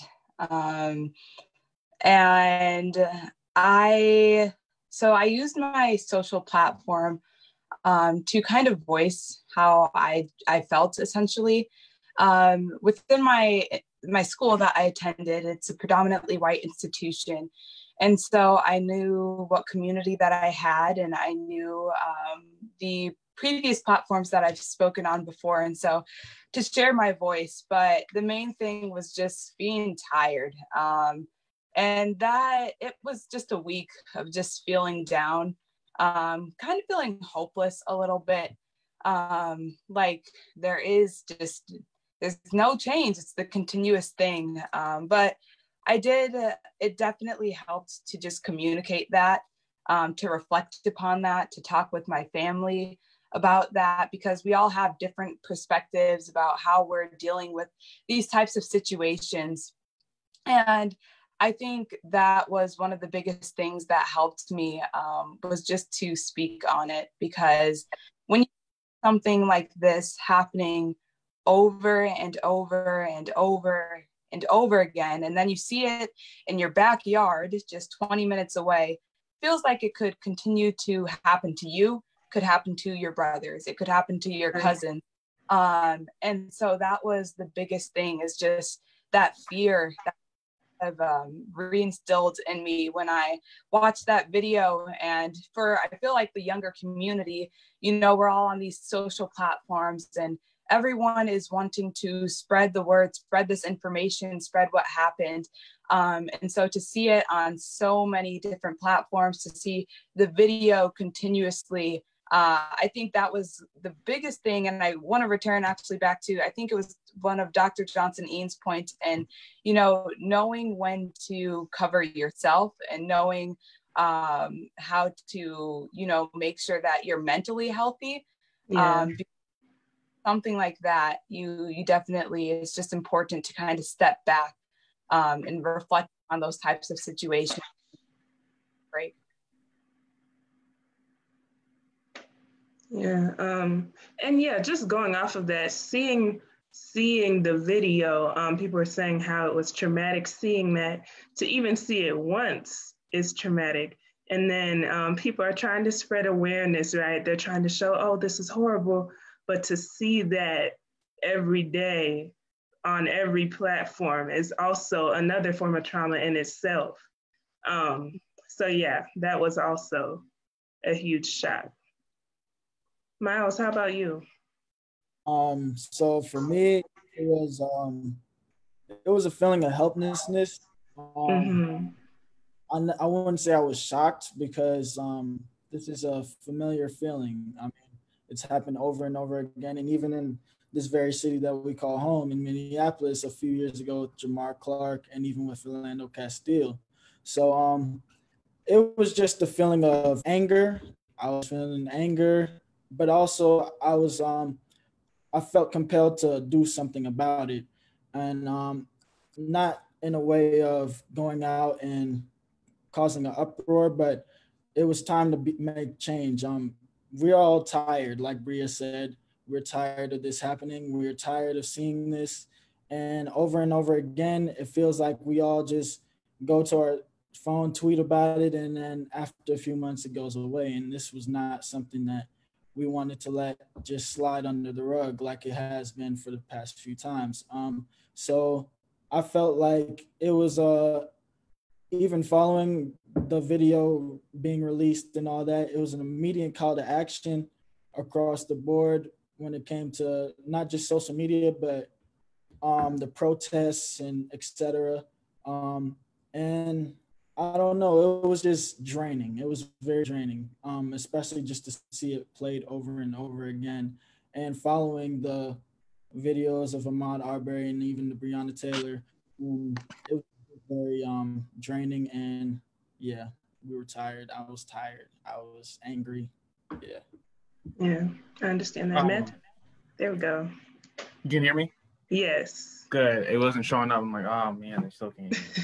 um, but I want to quickly get into um, when we're talking about aftermath, especially here. Um, I want to talk about you know some of the positives that came out of that, right? So we mm-hmm. understand that there was definitely a period of uncertainty. There was definitely a period uh, for I know like two weeks here in Minneapolis um, where where things were really wild, right? Um, and it was tough to get a grip on things, and we're still in the middle of this global pandemic, and what's it was a lot of things going on at once. Um, but now removed from that, and, and, and a little bit further further from that, we see that um, not only is this not going away, but that people are taking the right steps in terms of uh, what they're doing to move forward, right? So I, I, I go and watch TV, I hear a commercial, and I think it's Oprah and TD Jakes um, that they've put the money together to say, you know, the time is now for policy changes. And I know for me, that's been something that's personally been on my heart um, as far as um, understanding, if you really understand your history, if you really understand how the civil rights movement was successful, is that yes, there were protests, there was people in the streets protesting, but that they were protesting for a purpose. Uh, and that there were people um, fighting for that legislation um, to make sure that these changes were long lasting. Um, right. And with the recent death of John Lewis, who embodied that to the fullest, um, and and his quote that I shared with you guys earlier is on the Just Action Coalition's website because, um, in my mind, um, he is a person that really really headed that charge as far as legislation. Um, and you need to think about those things as far as we have a moment here in time where Minneapolis, Minnesota is not just um, in the national eye, the local eye, whatever. We're in the world's eye. Um, and we are ground zero for this movement right now. Uh, what are we doing as far as legislation to uh, get some things passed and, and to fix these problems? Also, we have to understand that, you know, police reform as far as um, what we're doing there and and all the acts that we put into place in the special session that they're in right now and how they're going to figure those things out um, that's huge But once we get past there, there are pressing issues that we need people working on, people thinking about um, as far as making sure that we are fighting this system, um, this systematic racism as efficiently as possible and as systematically as possible. Um, so I want to leave you guys with that. And also um, to form that as a question, what are some things that you guys are thinking of? Um, it could be inside police reform, it could be outside of police reform, um, as far as ideas going forward, how we can move forward. Um, I know for me, uh, and well, I'll start by saying that you know God has uh, graced um, my family company um, in partnership with Global Star Media um, to produce a movie that really deals with um, the civil unrest. It really deals with um, police brutality, the really the the social issues that we face um, today. Um, this movie is a movie that reverses the roles. So um, whites are the majority, I mean the minority, and blacks are the um, majority. And so it really, it really makes, um, because it's hard to really sympathize or empathize for someone uh, when you don't understand their reality, when you don't understand their perspective, right? And so this movie really kind of flips um, the realities and reverses the roles. Um, and it, it, it allows you to see from a different lens. It allows you to see from a different perspective. Um, and it leaves uh, both sides of the spectrum without excuse. Um, you know, so as it relates to me, um, and, and, and this movie, in regards to this movie, you know, this is a solution um, that we've uh, been really, especially led by God, um, to, to put out uh, to the masses um, and really to bring out the issues. Um, and the movie is called Negative Exposure. Um, I didn't mention that. Uh, but to really bring out the issues, um, provide a solution, which is God, which is Jesus, um, to point all issues, whether it's uh, racism, prejudice, whatever it may be, whatever you feel in your heart, um, this movie is to really minister to um, the heart of, of the people um, and to point them and direct them um, to God, to Jesus, the only one who can really fix the heart. Um, and so when we're talking about, you know, police brutality and uh, uh, racial injustice and social injustice and civil unrest and these type of issues that we deal with, um, this movie is really a solution to that. and so as far as me, you know, this is what um, I've really contributed to the cause. Um, so yeah.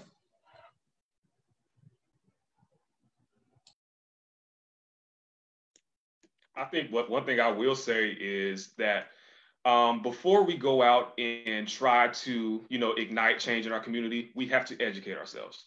Um, I think that's an, a step that we, a lot of times that we skip. We go out and we march with these organizations, but what do these organizations stand for? What are the schemes in that? What are, what are the ideas with that? So are we educating ourselves to go out and do these, you know, these protests or whatever we're doing? And I think our voice is an overlooked aspect as well. You know, kicking down a door and, and busting open a window is not going to create change. I'm, I'm sorry. I'm sorry. That's not you. You fulfilling the image that they already have of us. What does that do? You know, they always think of us as, you know, heathens and as these, you know, these violent people. So what are we going to go out and do? Be violent? I don't think so. So you can't you can't solve violence with more violence. Um, so I think that's one thing that we have to be mindful of um, because passion without a plan does not create change. We can have passion all day we want. I love I love the passion. I love the fact that we're passionate about these issues, but what is the plan? And is the plan something that is comprehensive that we can carry on um, not only during this time but to the next generation. Because we look at even i guess the trajectory of these of these protests and stuff it was handled differently well in some way shape or form had a different stance in each generation. Um, that's kind of conducive to the time. So we have to figure out what works during this time frame and um, i think that's one thing we have to do. So i think my, my big point is we have to educate ourselves um, create these organizations, these, these coalitions, that when we can come together and actually use our voices. things like this. Um, this is something that is a prime example of it. Um, you know, black men and women coming together to address these issues. Um, so we have so many other ways to use our voice, but we have to resort, we have to learn how to get to those um, to those ways where we can use them. And even as, as I was talking about, you know, these people are talking about defunding the police. Let's not, we're not gonna say defund the police, but what are we funding? Because what do the police do? They have a lot of interactions with homeless people. Let's, let's fund the homeless shelter. Let's form, like, let's fund the, um, the drug rehab center, places that the people need. So it's not all about defunding something, but what are we funding? That's the question we need to ask ourselves. All right, um, to go off of that, one moment. So yes, I do hear everything that you're saying, and I agree. Um, we do need to educate ourselves. We need to figure out plans. But one thing that I will say is, um, while violence and things, it's not ideal. It does grab attention, and um, in order to be heard in a system that is not built for us, um, sometimes somebody does need to take that step and get attention in order for everyone else to be heard, um, in order for attention to be brought to an issue as well.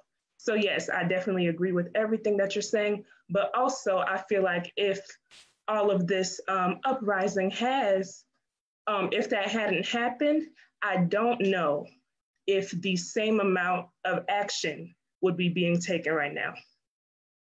So that is what I'll say, but good points as well. Ayo, Ayo. Yes. Uh, listen, I got a question from the audience, and mm-hmm. this question is uh, directed at Ezra. And the question is uh, The movie sounds phenomenal. Uh, can you let the audience know when and how they can access and support the movie? So once again, the movie's name is Negative Exposure. Um, it'll be uh, available um, on August 8th at 8. So 0808 at 8. Um, and and you know at the at the end of the movie, I kind of don't want to try. I want to pose it without giving away. Um, but it's really a call to action um, there's a call to action resolution um, that we um, as youth or young adults can really uh, gravitate to and get involved in uh, as it relates to our communities, um, especially nationwide. Um, and I, and I, I, want to say this, I really like this image, you know, with six young adults, um, bright young adults who have a voice and who, who are coming together to bring about change. I think that's very, very powerful. Um, but you know, as it relates to this this movie, um, there is a call to action or a resolution. Um, I don't want to give it away what it's called. Um, I don't know if I can, um, but yeah, it, it really just uh, um, just gives the young adults, the youth, um, or, or anyone with a voice the opportunity to grab on to a hold to this um, um, and implement it into their communities um, as it relates to you know police brutality or um, any other uh, reform, whether it's community or criminal justice. Um, this this this resolution really can take place in our communities if we just grab a hold to it and implement it. So yeah, 08, 08, 08. Sounds great. We can't we can't hear you. Can't hear you again, Matthew.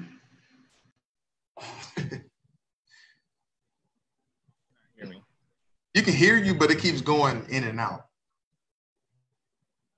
Wait, try to talk again. Hello, hello, hello. Okay, a little bit. Just keep talking. Um, I want to go off of TJ's last point as far as, you know, um, defunding with a purpose. So that's a big conversation right now as far as um, anything that we're doing in the in the tide of reversing this 400 year you know built system. We have to be really really thoughtful in that process right? Um, and understanding that like he said um, maybe putting the money somewhere else is what we mean when we say that. Um, and also um, we have to be really thoughtful as far as what policing looks like in the future Um, how does it shift? How does it change? Because it has to change. Um, and what technical solutions, key technical solutions, are we putting in place so that we can um, make sure that people are safer, uh, make sure that policing is better, and that they're handling these high pressure situations um, in a better way. Also, um, I mean, uh, part of what I'm doing with the Just Action Coalition is is making sure that we're looking at policing in in a full light, right? So um, not just the technical solutions, but what are we doing as far as the selection process, on the training process, and then more training and mental health awareness on the job, um, making sure that these officers are well equipped um, from from every standpoint. So not only are we selecting the people that are um, not racially biased, um, people that are understanding of their position, um, are we are we funding the right tools so that um, exactly like you were saying with homeless people, if, if, that's a problem that we're facing as far as um, those interactions, maybe there needs to be a separate force that's dealing with that.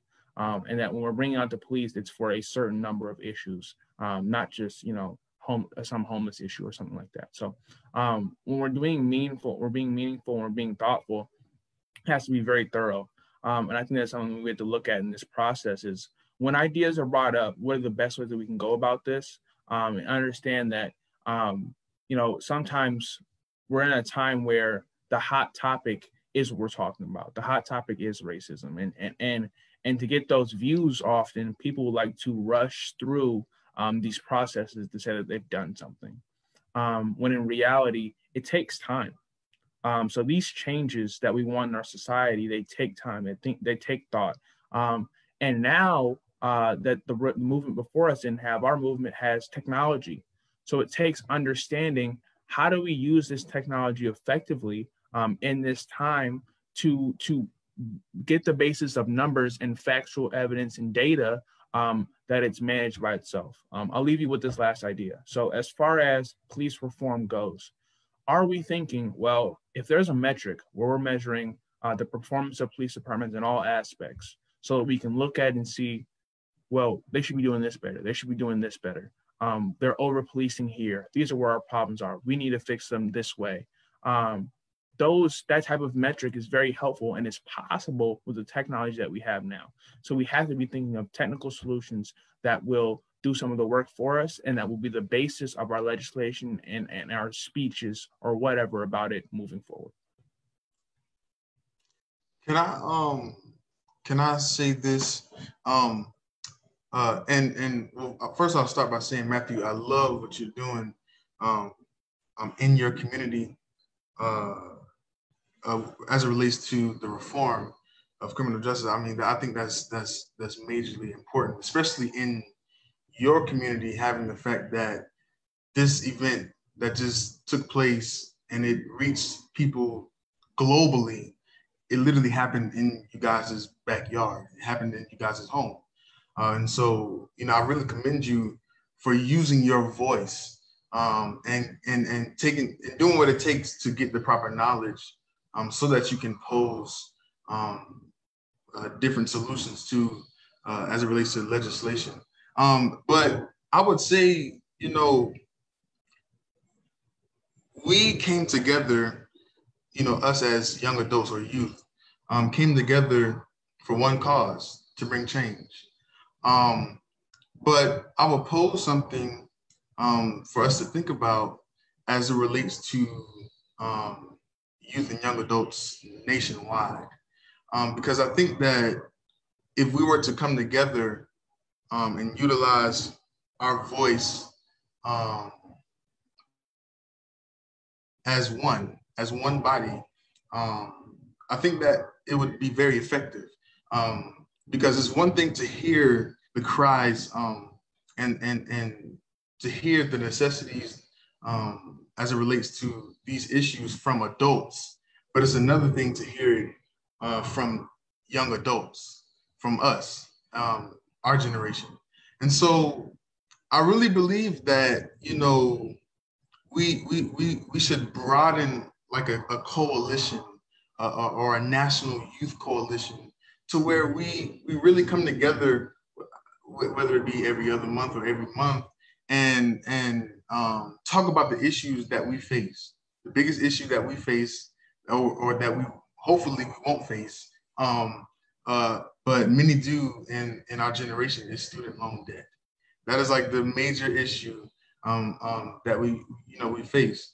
Um, and there's other issues, but I feel like if we were to come together nationwide um, as a coalition and, and, and put all of our issues in one pot and, and, and we can take those issues, form a solution and pose them to legislation and say, this is what we, we would want to see. Um, this is what we want you um, to do um, as it relates to us. And if you cannot do these things, then you cannot get our vote. And I, I think that that is how we going forward could and, and maybe should utilize our voices if we just come together. Um, because it's a powerful, powerful thing. I've seen it happen. It's a powerful thing when youth and young adults come together and pose their issues. You know, is is a powerful thing when we utilize our voice. So I want I, I, would like for this to go farther than just you know, us six um, um, on live. Um, I, I, think that this can really go farther than what we may um, think. Uh, if we can come together uh, and, and, think about the, the how to go about doing it, the plan, the call to action. These are the type of things um, that I think that we should really uh, think about as it relates to this national youth coalition. Agreed. And um, we do have to wrap up here. But one thing that I do want to say before we go is that for um, any other youth who may be watching, older than us, younger than us, it doesn't matter, um, never doubt the power of your voice. Um, and it doesn't matter what scale that is on. It doesn't matter if you are um, addressing racism in your schools, to your friend group. It doesn't matter if it's in front of hundreds or thousands of people posting it online, whatever. Um, your voice is powerful, it's valuable, and people need to hear it. So use it, get out there, and um, yeah, never doubt the power of that. And then, um, yeah, I think we can wrap up. Thank you so much to Dr. Berenecea Johnson Eanes, Dr. Kip, um, Pastor Kevin Tucker. We so appreciate you all being on here. Thank you to our youth guests who came and gave input. We just, we really appreciate it. And this has been a great discussion. So um, we appreciate y'all. Thank you for listening. Thank you for commenting. And yeah, Matthew, is there anything else y'all want to say? Uh, thank you to everybody who was behind the scenes as well. Uh, we yes. understand that with any event, um, those people are definitely uh, really helpful in this process and are the big parts of this event. So we want to um, mm-hmm. definitely, if you're behind the scenes, please give yourself a, a, pat on the back and understand that we're very thankful um, for you being a part of this event. Um, and for those listening um, in the Facebook Live, thank you for tuning on. We hope that you took today um, not just some conversation, but some action. Uh, where do you fit in in terms of combating this this double pandemic of racism and COVID 19. Um, take some action with you and be blessed. Yeah, and I would, you know, ditto, I would say that, you know, this conversation uh, was extremely, extremely uh, important.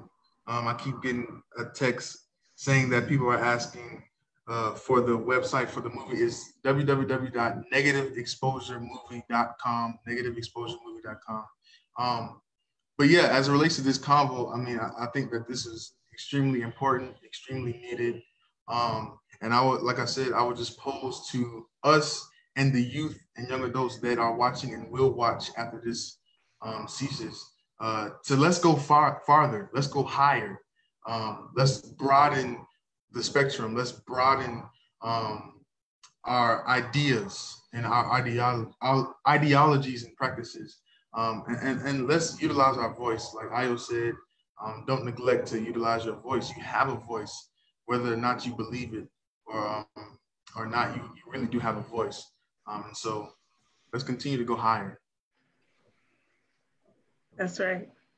All right. Well, um, thank you, everybody. Be blessed. We can end it.